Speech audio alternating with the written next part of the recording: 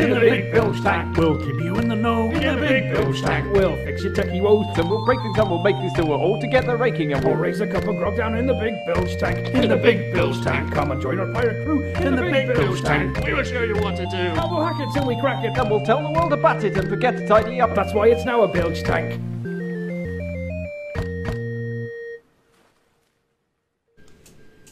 Guten Tag, and welcome to episode 059 of the Bilge Tank. Ciao. Yeah. Hello. Hi. This week is a uh, run through of what these guys got up to at Berlin uh, over the last seven days. Yeah, And, well, eight days. In eight your days. case, yeah, But yeah, yeah.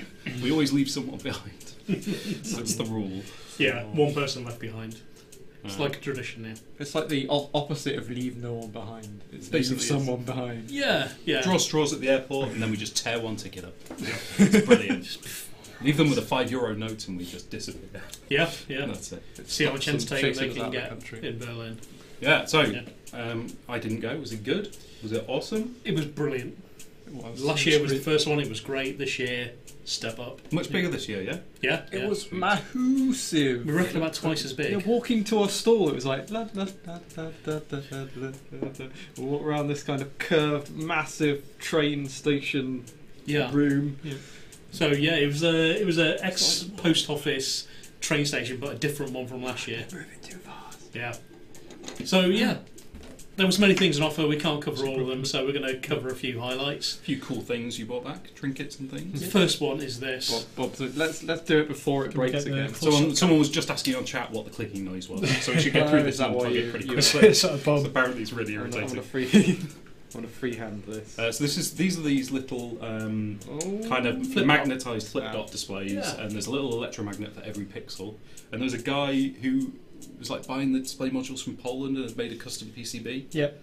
And then you put the PCB together, and then Phil spent the last three hours debugging it to make it actually work. so essentially, these are the same kind of displays that you would get in a railway station um, on the, the kind of arrivals board. Um, And that's why traditionally you got that like ripple effect when Yeah, it was like yeah, yeah. dit- dit- Yeah, you can only actually change like one, one row at at any time. one time. Yep.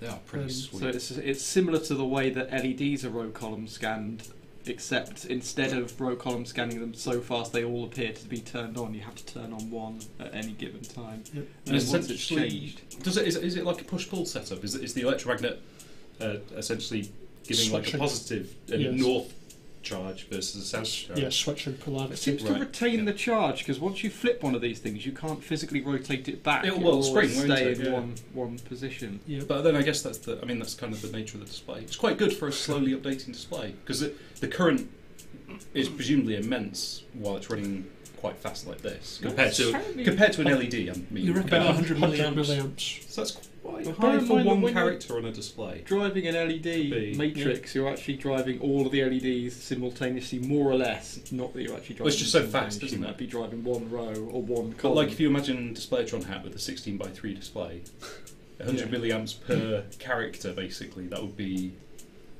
Yeah. something like Yeah. 5 amps to drive the Well, display. the characters it's aren't big flippy dots though. No, I know, no. Big flippy Which does make So- it very cool. It's the But, but no, but the point is that because it retains the information, you don't need yeah, you, don't need to keep power refreshing it, which Yeah. is So it's got all the advantages of e-ink. efficiency. I basically said earlier, this is like e-paper kind of version 0.01.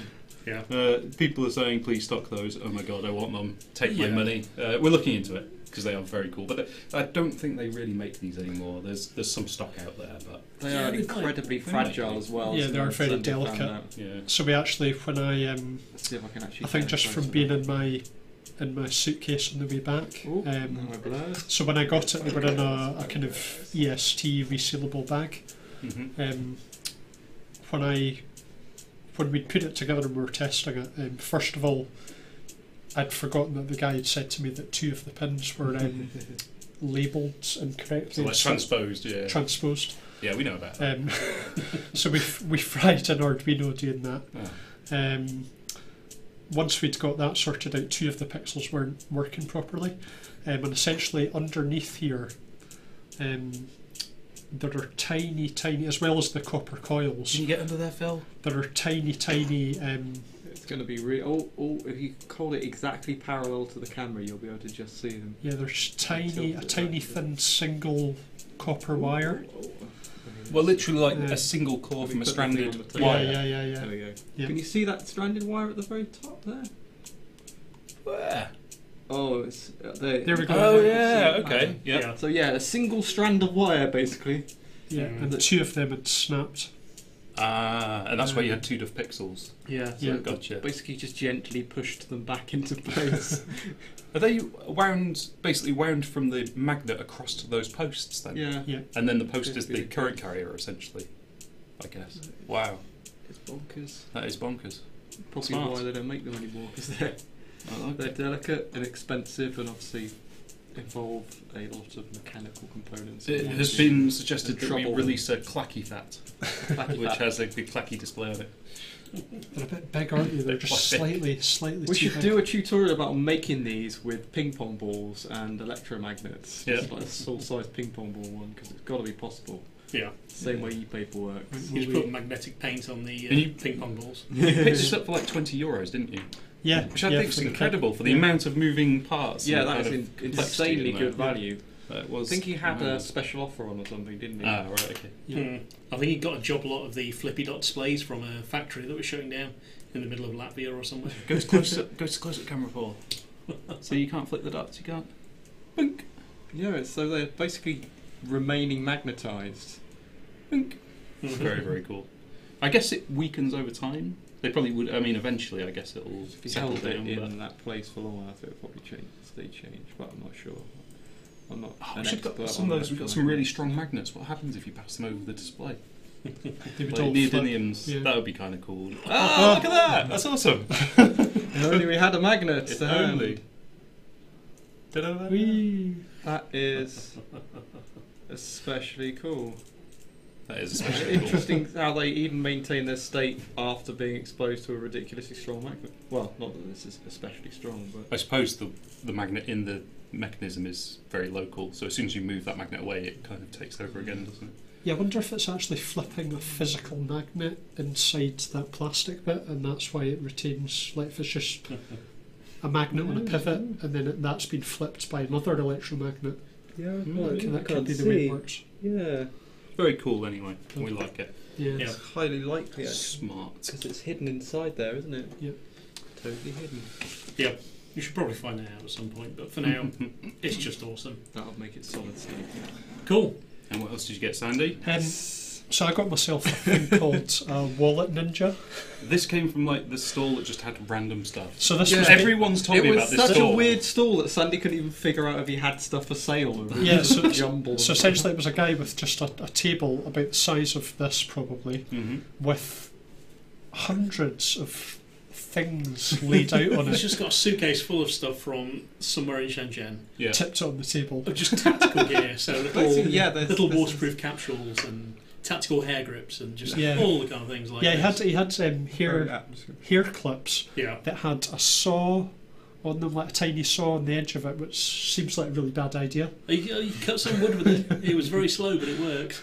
Clip in your hair. Whoops. You wake up there and- goes your hair. You wake up in the morning and half your scalp's been like, Mhm. sawn Oh. off. It's got a little ball patch, Um, but the hair grip's holding it in. and it had it had screwdrivers, it had spanners on it. Yeah, a little uh, little Allen wrench for one size only, Yeah. but brilliant. Yeah. So everything on the table was three euros. Yeah, one euro, three euros. He, he just made up prices pretty much on the spot. Um, so this was three euros, which seemed really cheap to me. It's like if I was selling it, I would sell it for at least five, Yeah. and then you're making two extra euros. and I think Do you think he just wasn't good at maths? I don't know, but I think anyone would pay that for it because it is quite cool. It's got I think he um, was just there disseminating It's like cool trinkety things thing and from an didn't really worry too it? much. it's got a ruler on it. It's got a bottle opener, screwdrivers, uh, spanners. I noticed that having Um, spent the grand sum of three euros on this, you're leaving it factory sealed in the packet. Hell yeah. Perhaps No, a collector's item. on the close-up. Another close up, yeah. So I think he's just waiting for you to say, "I'd like a thousand of these, please." Yeah, that's how it That's the works, real I think, deal. isn't it? I like the bottle opener. It's the little ninja mask, Hmm. little space. It's Yeah. cool. Yeah. There you go. Wallet Yeah, it's ninja. quite nice. I mean, for for three euros, it's uh, yeah. and that, that's worth quite a lot these days. It's Yeah. pretty good Well, in the branding UK. and packaging Yeah, as it well. cost cost me about a hundred quid for Apparently that. Something like that. then.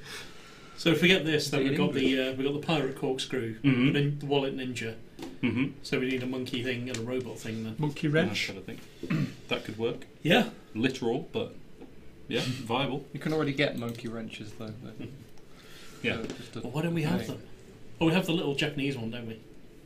We do They're have just a little little monkey spanner. wrench. That's kind of cool. I don't know. What, What to call it. technically, what is a monkey wrench? We already have. Do you have anything else you brought back?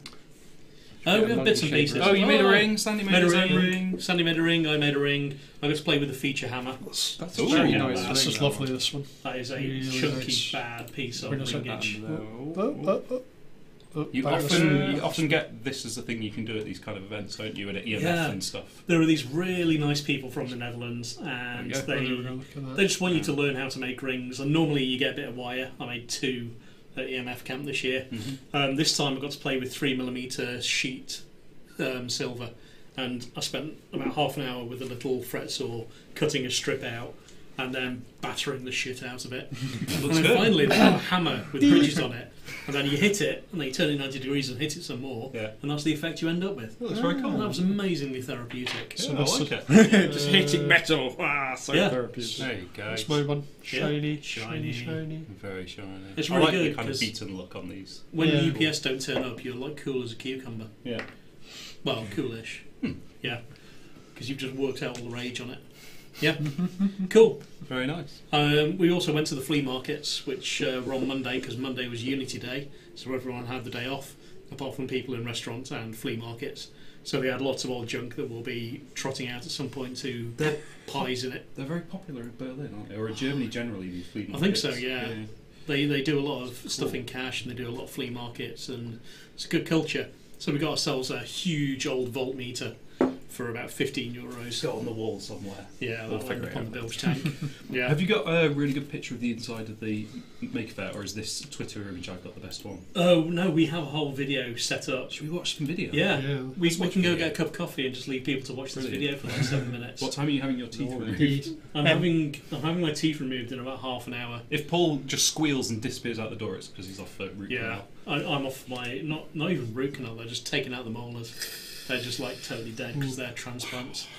Um, and apparently titanium is on the cards. Hmm? Um, if anyone out Titanium? there runs any kind of or knows any has any friends in kind of the the kind of denture replacement stuff and can get like funky stuff done, get in touch because I want to know about it. You should have made your own teeth at the stall at Maker Faire Berlin. Oh You Yeah. could have, you could have ham, hand hammered your own. Well, I was looking at the um, the Form 2. Form have a new printer with the resin, and they have dental resin, so you can make kind of uh, teeth with it.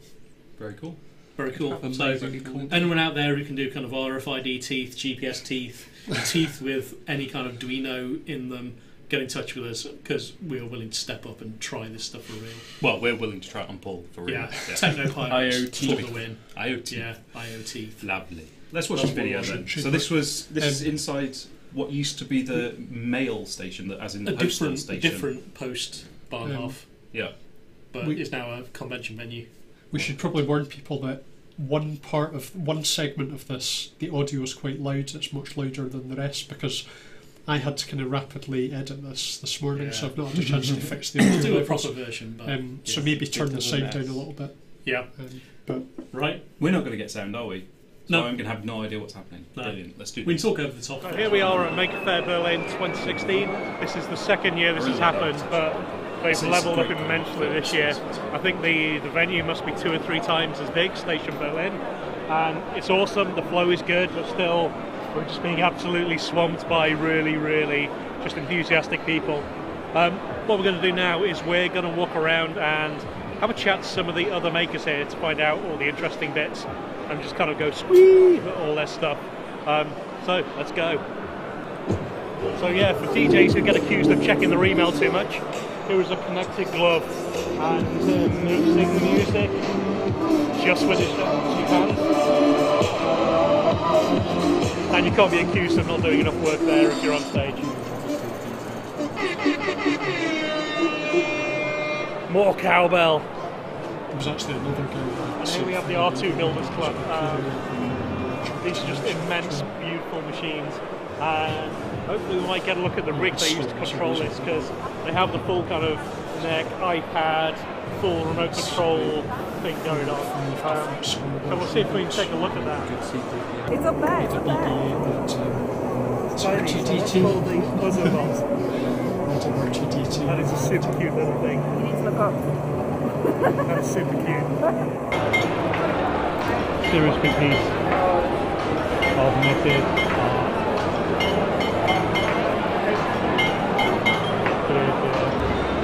Okay, so we've had a little break. We've changed t-shirts and we come back for the Sunday of Make Fair Berlin. It's been a little quieter, but it's picking up now. I think people wanted a bit of a lie-in on Sunday morning. And we're going to take a bit of a look around the rest of Hall 3 and then see the bits of Hall 1 we didn't see yesterday. So, let's go see Make Fair Berlin. So here are my favourite people. Every time I see them at EMF Camp or Make Fair Berlin, I, I make another ring. So you go, there's Dan and Emmy there, and they teach you how to make a ring yourself. You do everything yourself. Connection. They give me some special soy sauce. But apparently, I, I should I should not drink this. But uh, yeah, this is used to tarnish the silver and make it into a cool kind of yeah. I was a little bit worried. Right. Yeah, but not soy sauce, do not drink. And it's a standby for Make Fairs that they must have at least one installation that's beautiful, Dann müssen wir but den Gang noch slowly drives you insane if you're near it. And this year it seems to be this one, which is just a beautiful piece that's based on it's an old yeah, it seems to be an old Roland kind of synthesizer, but made real, real instruments. It's this kind of thing we invoked with the drum hat. But this is much bigger and more interesting. Wenn jetzt das Werk reinkommt, dann kannst du alle drücken.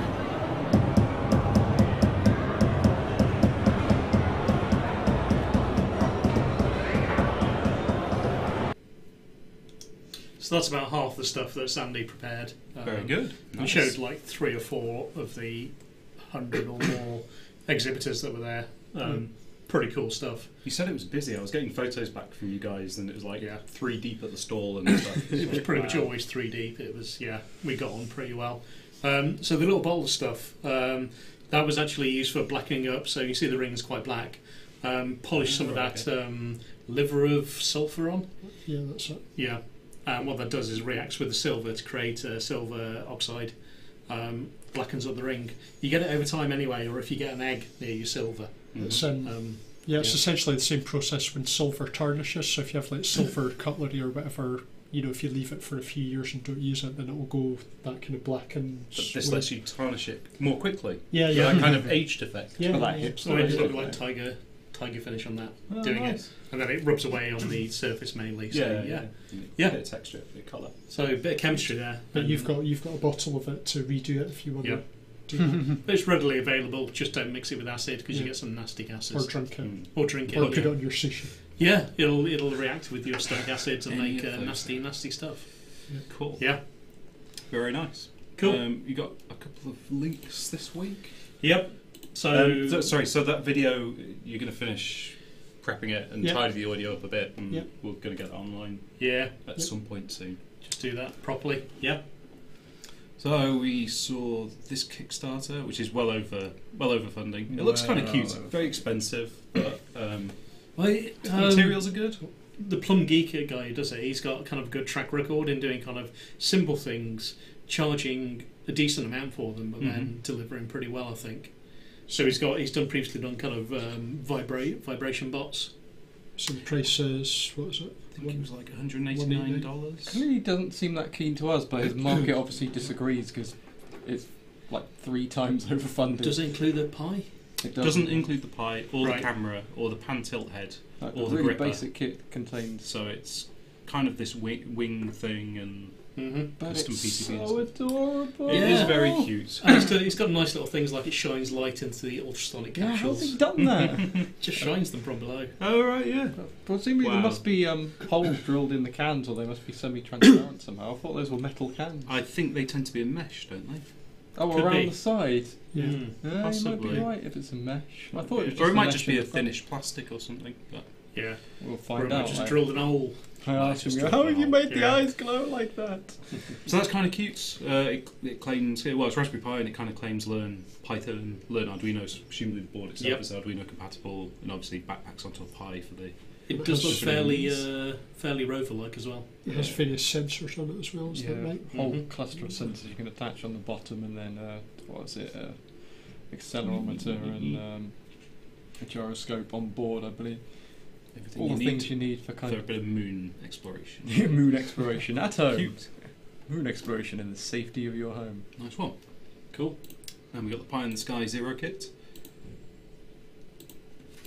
And This Cool. is for the Yep. kind of high altitude balloon logging. So all the stuff that Dave isn't? Akerman does um, is available from the company that was Hab Supplies. They had to change their name because of some trademark wranglements. Mm-hmm. Uh, somebody else registered Hab Supplies as a trademark. They missed the opportunity to um, oppose it, and so they just changed their name. So it's the same company. Uh, Dave Akerman's stuff all comes out on.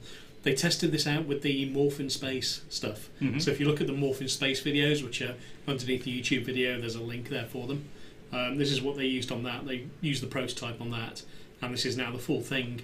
And it's got the um, LoRa radio. It's got the um, what do you call it? Radiometrix. Radiometrix Radio one, which is more for the console type stuff. Mm-hmm. Uh, RTTY. Yes. All right. So this gives you like a really long range, but very low bandwidth, So that's your telemetry, and then you've got the LoRa for kind of just shifting image more data and things imagey like that. stuff type things. Yeah. Cool. Yep. And it's got the GPS, and it comes with zero. Oh, so does it? it's Oh, all right, bundled okay, in. Sweet. Yeah. I think it's Dave Akerman. And there's um, some sort of there's a power regulator on there as well, so that you can power Yep. this off batteries. couple of And- pigtails to the antennas. If you, you just have to buy a massive balloon, and some helium. A massive balloon and some hydrogen actually. Hydrogen. Yeah, helium's small, small in short supply. So they, they, they mess with hydrogen. Um, don't smoke around it. No. um, generally doesn't explode, by and large. yeah. Yeah, it's got a bad reputation due to some historic incidents, but it's a lot harder to set fire unless you're you're a bit of a muppet. I think. Cool. Yeah. Not cheap. But then I Not suppose if you're sending no. things to space, budgets have to be increased. you know, Yeah. it's not unreasonable. Well, if you got this radio here that's forty quid, you got the GPS that's Mm. another twenty. You've got the board. You've got the other radio. It all adds up pretty Yeah, as soon as quickly. you get into GPS and radios, the price goes up. And doesn't given I think they've got they've got six in stock at the moment, so it's not as if they've made hundreds, so Low the volume price will be quite high. But it's a it's a really neat solution. it? Pretty cool. Yeah. And Dave knows what he's doing, so Yeah, that's always good. cool. If you're looking at the knitting as well on the video, um, this was done by Victoria at the ETIB Berlin.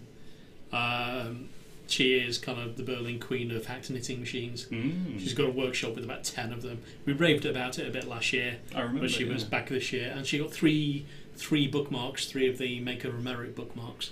So she was just swamped by kids all day learning how to machine knit with a hacked knitting machine. Is this one of the ones where you actually move the truck back and forth Yeah, yourself? yeah. That's quite cool. Yeah. We got a maker of merit. Yeah, We should have brought it in we here. got another one. Yeah, Oh we well, need to we got one. we It's need nice. to line them all up at some point because we've got them from I think pretty much everywhere, but Shenzhen where we only had a little display. Is it still on its way back in the boxes? Maybe? Uh, Or did no, some- it's on Emma's desk. Was it? Yeah, Okay. yeah. She won't let go of it. She held on to that. Yeah. Nailed to Emma's desk. And James, who was next to us, big thanks to James from Raspberry, Raspberry Jam Berlin. Definitely. Yeah. He was helped us out so much, did a good display, and got his own bookmark again this year. He's always awesome. So he's now two for two as well. And uh, big thank to our German customer support dude, Stefan, Yeah. who helped us out because Stefan's based in Berlin. So it was a great chance for him to come and spend some time with the team and It help was a refreshing change having someone who Translate for speaks. German. yeah, translate. Um, so that was awesome as well. You Much can see wider it, spread of people. Yeah, yeah. You can see uh, a picture of our stall here. So this was uh, kind of our setup, and we had obviously lots of really colourful, um, playful things, and there was a lot of demos of the stuff as well. Flashy lights. this is what we do. We kind of talk about stuff, give people advice, just kind of just talk to them about stuff, Yeah. and that's it's really kind of rare in a way. And there's there's not actually many candy shops shops there. There's people selling their own thing like the Flippy Dot things, Mhm. and there there are kind of big brands who have their can demo, Yeah. and it's all a bit kind of uh, I don't know. It's, it's a bit corporate in many ways. I Things think like iFixit do it well. Yeah. They do it properly, And treble. but there's there's nobody Dremel, Yeah. but there's nobody who kind of has that kind of that craft fairer thing like we do. Yeah, I- I think we try and take like a, a lot of kind of fun, reasonably priced stuff. It's kind of like Yeah. a trinket you can take away on the day or whatever, and we can show you how it works or talk to you about it, or Yeah. you know something you can just pick up a project for that weekend, mess Yeah. around with, whatever. It's, So- I used to I used to go around a lot of craft fairs as a kid. Loved doing that. Learn how to do things like make earrings or whatever random thing was there. Mhm. It's kind of a bit of pocket money, start a new hobby, and yeah, it's always nice to do that. Get started. We did some Very uh, cool. under the counter Pi Zero trading, didn't we? Uh, Yeah. Illi- illicit Pi Zeros. We took It wasn't even. It's, it's just they're so hard to get in Europe. Yeah. We do our best with the shipping, but the shipping is always going to seem very large in contrast to the price of a Pi Zero. Yeah. Um, It was nice to take some and sell It was them nice. To, yeah, people kind of were there and they said, "Okay, you've got Pi Zeros. Can I have hundred, please?" No. It- but if it's kind of like, "Hello, I, I'm here with, with my orphan child. Could I have two? We kind of sometimes we got a bit soft-hearted. Hey, if there's two people, yeah, Yeah, there was a guy with individually uh, a, purchased, a guy with an incredibly cute little child who said, "Can I have two Pi Zeros?" And we said, "It's one per customer." And he said, "Oh well, can my can my child have one?" Can my small child. Yeah. was this the It's one like paying with the cash, dummy no who got problem. the call me think- captain sticker? I think it was a different one. Was that actually. someone else? Yeah. I saw that come up on Yeah. Twitter. Yeah. Very good. But that's a few hundred more Pi Zeros, and we did a soldering workshop with them as well, which That went was pretty well. phenomenally popular. I wonder why. Let's um, try and wrap this up in five minutes because you've got to go, man. I've got to go. So yeah. Let's kill the um, overlay and just quickly look at these New, boards. that new we've got. products. What boards have we got? We have got um, Automation Hat came out. Uh, what, oh, sorry, Oh, wrong sorry. one. Automation Hat came out three, four weeks ago, whatever. Mhm. Uh, can't remember exactly, but we have a pHAT version coming soon. Sure. So it's pretty that. much the same um, same concept. You don't get Look at uh, all obviously a few of the features because you can't fit, fix it, uh, fit it on there. But you get a single relay. Uh, you get you still get three sinking outputs, three buffered inputs, and three 12-bit ADC channels. Um, so super super useful. I think it's going to be about twelve pounds. Can't remember exactly. Right. So it's a cheaper, Okay. smaller version. Yeah. Pretty, pretty sweet. Yeah. Um, we also have a, another pHAT coming, which is the Mote pHAT. So this is to use with our Mote sticks. And we also have new sticks coming, which I don't know if we've got in here, but we, we've got pure white and mixed RGB white Mote sticks coming few pastels. for your pastels. Well, the, yeah, the mixed ones are great if you want just like a hint of a colour into something. And it, you know, it's still quite strong, but it's much more natural for lighting effects Mm-hmm. um, rather than kind of zany rainbows. Sweet. Uh, and this is just a way to connect it directly to the Pi. Uh, again, it's a little bit cheaper than the USB host because it doesn't need to have a microcontroller on there. So Yeah, but only Pi Zero. Well, only Pi. Only Especially Pi. good for the Pi Zero. and great for Pi Zero. Yeah. Uh, and then finally, we have a hat coming soon, which is the Picade hat. And this will be an alternative way to build a Picade. If you're using a Pi, it's a little bit more convenient than using our current board. Yeah. And this basically integrates all the IOs for doing um, kind of arcade style um, setups on a Pi. But as well as that, we've included a single speaker connector. Now that actually takes the I2S audio from the Pi, blends the two channels into a single mono signal. Yep. And then amplifies it into a, th- a three watt amplifier basically out on those um, screw terminals. So you get like an integrated amplifier with the digital audio as well, which is pretty sweet. Mhm. And it also has a soft power feature. So you can hook up a button that you can press to cleanly shut down the Pi. It sends a GPIO signal that causes the Pi to do a shutdown. And then once the Pi shut down, you can press the button again to actually start it up. So Cool. it, it gives you a way to externally mount a power switch onto your uh, arcade project. Which Sweet. is pretty sweet. So Yep. watch out for those over the next few weeks. It's going to be a little bit cheaper than the Picade full board. Oh, absolutely, yeah. Yeah. It's going to be quite a lot cheaper than the full board. But it doesn't do the USB, but it's great if you're just going to use a Pi. Yeah, so this normally Picade controller is a USB HID device. So Yep. this one you have to run a driver on the Pi that basically listens to the GPIO changes and then generates the uh, input events Yep. for the for the uh, you know console, the emulator. Mm-hmm. Um, so it's just a slightly different approach, but Yep. yeah, much cheaper. And all of these are either going to be in black, or I think the Picade one we're going for purple and white, aren't we? Are we? Yeah. I don't know.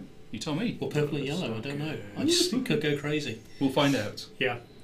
But I think if you've seen the Picade purple, hmm riff off that, because the Picade board's have always have been a bit more interesting. Yeah, from the motor. Oh, flotilla. Flotilla. Yes. Um, okay. Yeah. flotilla. Okay. Yeah. Yeah.